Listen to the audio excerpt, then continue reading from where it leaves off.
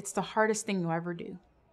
Uh, but you, everything that is of value, anything that you've seen created by man, was the thought that began as a thought in someone's head. That it was an idea that someone had that allows you to enjoy whatever you like movies, going into buildings, seeing art.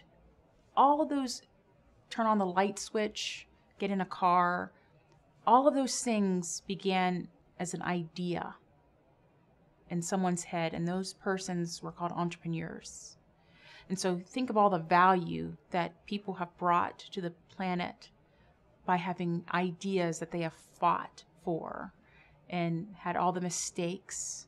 So there there's great reward in personally and for the whole of society if, if that's the game you're playing. Um, and so it's worth it. It's worth the insecurity, the instability, the fear, um, the unknown. It's worth it. And I think that's what entrepreneurs see.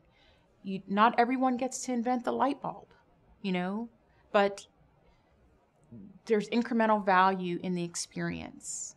And then, you know, you live to fight another day. You might take a job and then you come back out and do it again.